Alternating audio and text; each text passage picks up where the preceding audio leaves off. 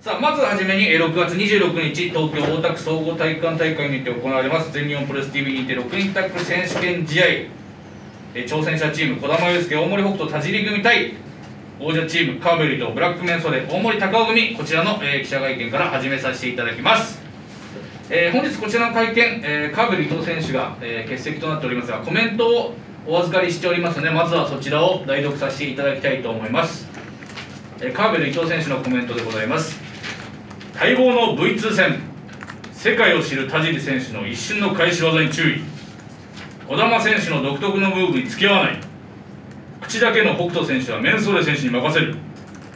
相手チームを分析済みなので12分で V2 達成します。カーベル伊藤選手のコメントでございます。さあそれでは、えー各チームに意気込みを。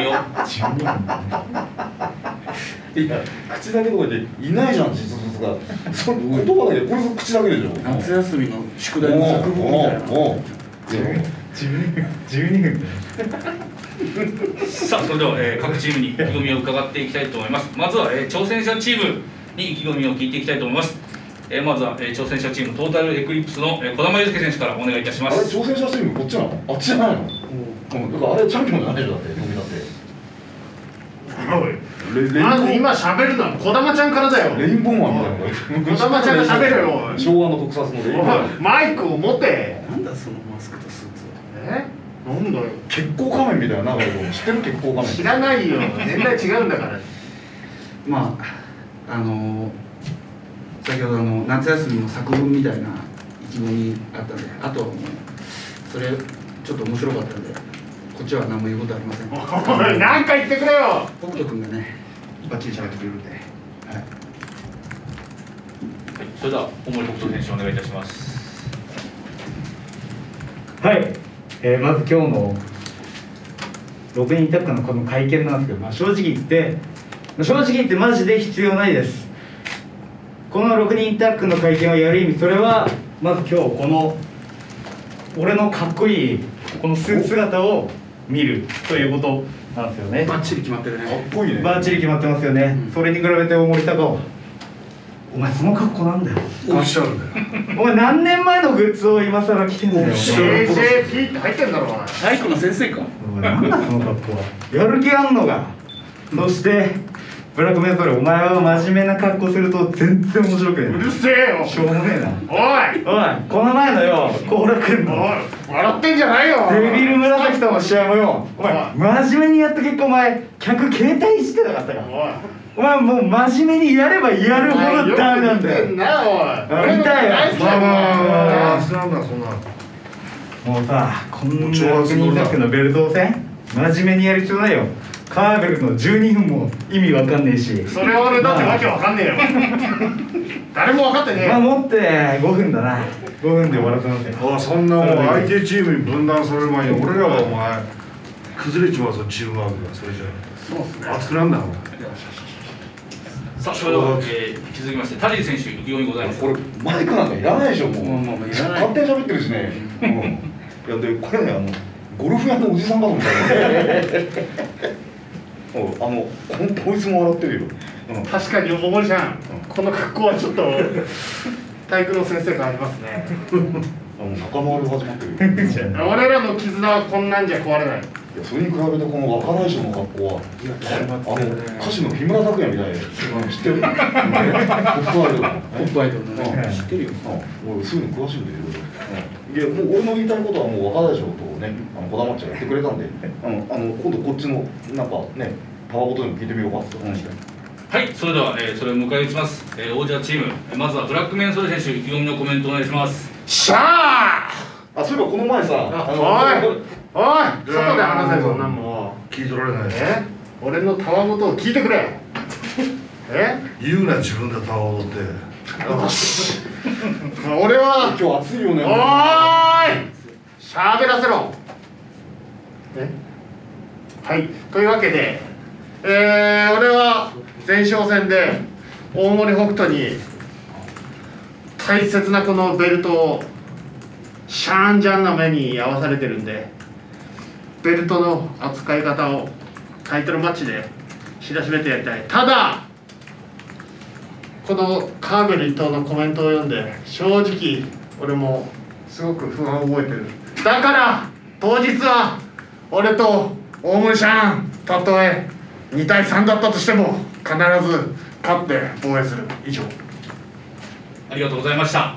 えーそれでは続きまして大森隆夫選手お願いいたします。はい、えー、いきなり梅雨入りした途端ですね、もうこのように炎天下になりましたけど、えー、非常に暑い中、本日は足を運んでいただきました、誠にありがとうございます。えーまあ、散々ですね、あの日程が変わったりとか、あの会場が変更になったりとか、そういう感じで、今度の大田区、えー、6月26日ですね、あの我々がベルトを必ず守って、この最初、ベルトを取った時の約束通り、6人タッグのベルトの価値をさらに高めていきたいと思います。はい、以上です。やる気あんのかお前。やありがとうございました、る気あんのかお前。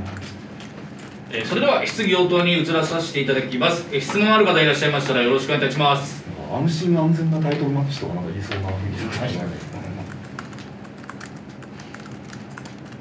北斗選手、まあ、これまでの前哨戦で、まあ、ベルトでメンソーレ選手を殴ったり、ベルトを足毛にしたりとかしてましたけど、やっぱそれだけあのベルこのベルトに対して価値を見出せてないということまあまずあの初代王座決定戦の謎の6人でのあの試合。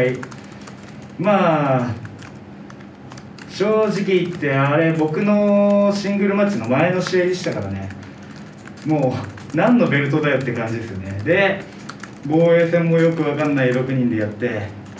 で挙句ねさっき知ったんですけどもうあのこのベルト PWF にも認められてないんですよ。もうこれをチャンピオンベルトだって言い張ってるのは もうこいつらだけなんですよ。もうねなら俺らが奪ってねもうねぶっ壊してもいいかもしれないですね、本当にね。必要ないですからこんなベルトちゃんとしたね団体にまた戻していきますよ。こういうアホを省いて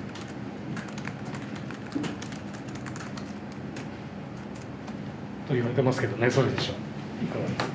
正直この前哨戦で俺が、まあ、途中ベルトでの王だとかそういうのがあったにせよ俺がこいつに負け続けたのは、えー否定するとこじゃない。実際そうだったから。だから俺はこのベルトの価値を今高めていられるかって言ったら決してそれは違うと思う。だからこそ今回は決して負けられないし俺も大森さんも何一つまだまだ諦めてないからだから必ず今回防衛する。そういうことです。大森さん。ははい、今、ブラックメンソールが言った通りです。もう当初のあの我々のですね、当初の我々のこのベルトを取った時のあの意気込み、このベルトの価値を上げて、そして PWF の認可も必ず取ると、それも絶対達成したいと思ってます。そのためには今度の選手権でベルトを落とすわけにいかないわけですよ。はい、必ず守ります。見に来る人の中で絶対あのタイトルマッチの一つで感動されてないよね恥ずかしいもんちょっとドリーさんも知らなそうですからね、このベルト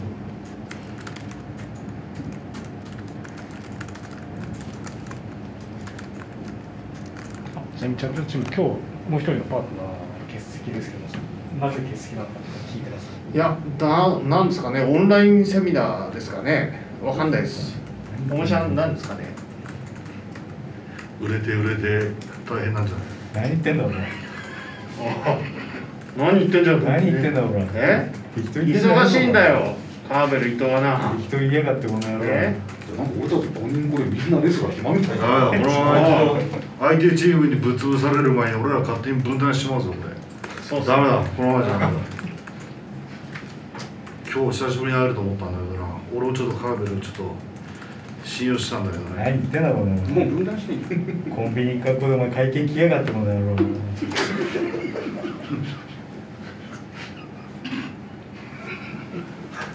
定できねえよそれは。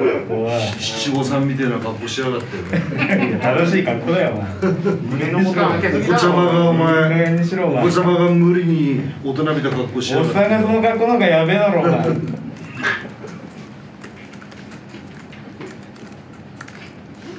まあまああの白黒つけますよ